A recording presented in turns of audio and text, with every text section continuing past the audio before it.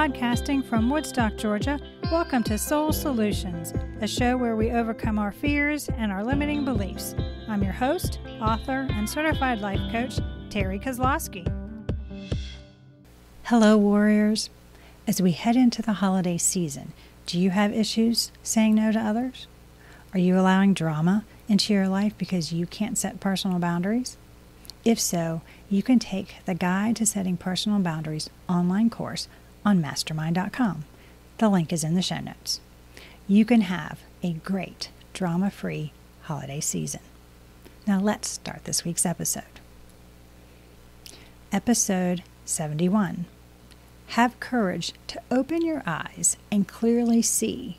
Projection makes perception. How you feel affects how you perceive.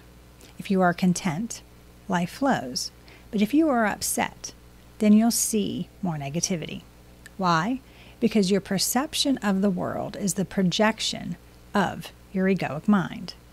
So, this means that you have control over what you perceive simply by changing your mind about what you see. Right now, you're projecting the contents of your egoic mind out into the world. These projections result in the thoughts and experiences you have. Projection is neither good nor bad. It's how you process the world around you based on your beliefs, mindset, emotions, and experiences. They come up as projections when you repress those things about you you don't like or don't want to deal with, like a negative experience.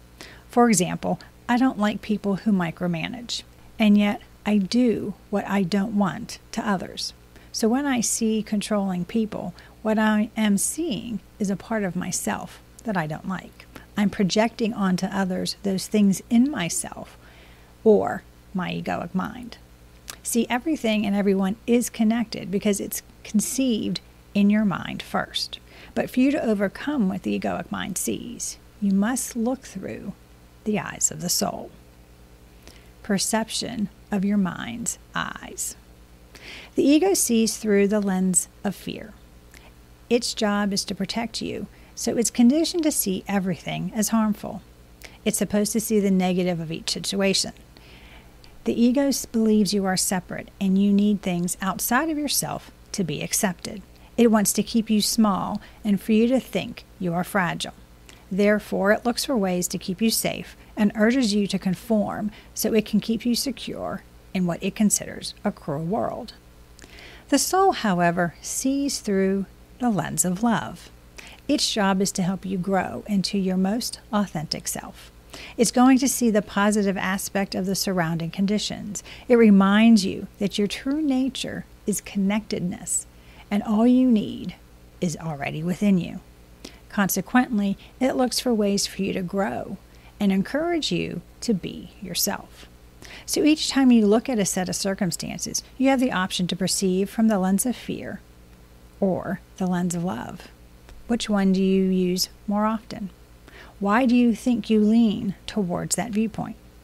When you examine how you react or respond to life, you will determine which set of eyes you use to filter and process the world around you.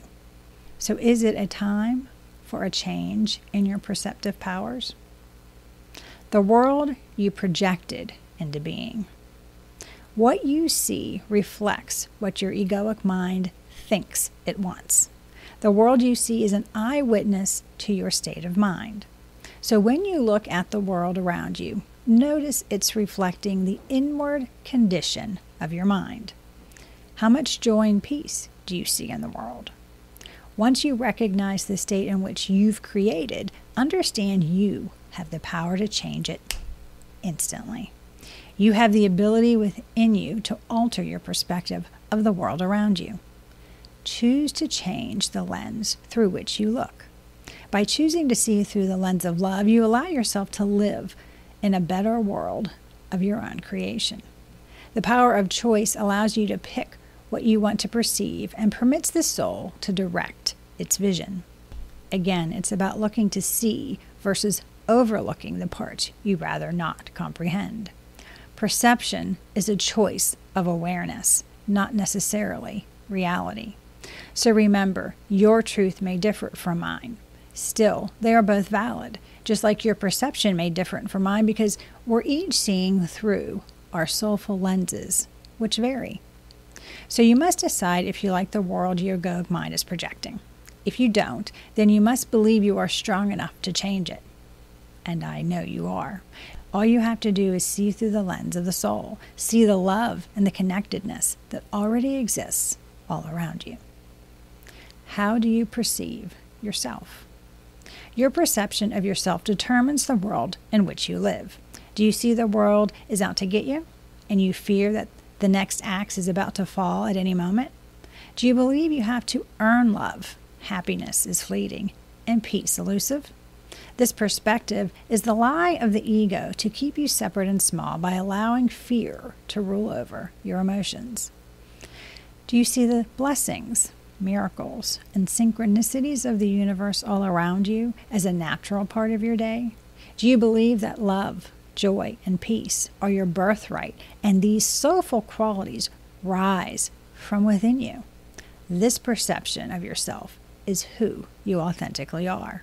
To change the world you live in, you need to go within and see the oneness the soul is projecting.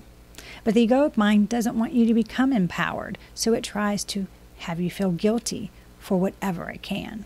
This lie keeps you from seeing the inner light that's shining, waiting for you to allow the rest of the world to see it too.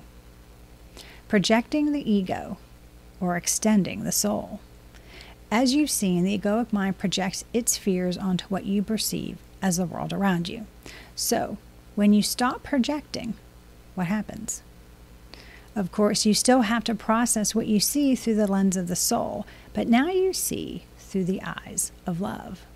The soul extends itself into the world by the inner light that shines from within you. Your authenticity and you living your truth allow it to broaden your horizons. It expands through encouraging others, acts of service, and how you positively influence those around you. Extension of your soul helps others expand their souls too. Why? Because love is inclusive and it naturally strengthens one another through authentic bonds it creates. The power of love is so strong, it melts away fear and all its other associated feelings anger, resentment, anxiety, dread, depression, irritation, resentment, annoyance, bitterness, hatred, apathy, and unhappiness. Your thoughts are the only thing that limits you. Yet you are a limitless being of light, which is supposed to be living out your best life by extending your soul to others through love. Why can't you believe that of yourself? Why do you think that fear overrides love? Your soul will never force you to see the difference because it's quiet compared to the shrieks of the ego. So get quiet and go within. What do you have to lose? Just think about what you could gain the life of your dreams. Opening soulful eyes. When you recognize your connection to the universe, you allow love to flood your being you realize your worthiness isn't outside of you, and your acceptance as a being of light isn't conditional. Then you rediscover all the answers you were looking for you already had within you, including love, acceptance, and confidence. You take responsibility for your past actions and choices and no longer blame anyone, including yourself, because you see the lessons you are to learn. And you see others as a part of you and the feeling of oneness of humanity. As a result, you become excited to connect with others and encourage them to be their authentic selves. Furthermore, everyone helps one another to grow and develop. As you learn to reframe your thinking and alter your perspective, you can rewire your brain to see from a soulful perspective. This realignment empowers you to live the life of your dreams as you consciously decide based on the truth you see from the perspective of the soul. The loving connection with the universe and humanity empowers you to trust the process of life. It gives you the confidence to trust your intuition and take risks to live out your dreams. And as you take action, you see more compassion in the world around you. Moving forward with eyes wide open. When you get quiet and go within, you are reconnecting with Source, which alters your perspective. What you put into the world is reflected back to you. You only see what your mind will comprehend. So, what do you want to perceive? As you raise your level of awareness of what you're perceiving, projecting, or reflecting, you can learn to change it. By swapping the lens from which you view the world from fear to love, you become an infinite being as you remove the limitations you impose on yourself through the nightmare the egoic mind wants you to live. See, opening your eyes isn't passive, it requires you to take action. It's this action steps that creates your reality. Most errors in how you think aren't about logic, but about perception. Are you building your world from egoic place or a soulful place? Do you need help to open your eyes to the projections you place on the world around you? Do you want to perceive from a soulful perspective and see the love instead of fear? If so, reach out to me at terrikozlowski.com and we can put together an action plan for you to live the life of your dreams.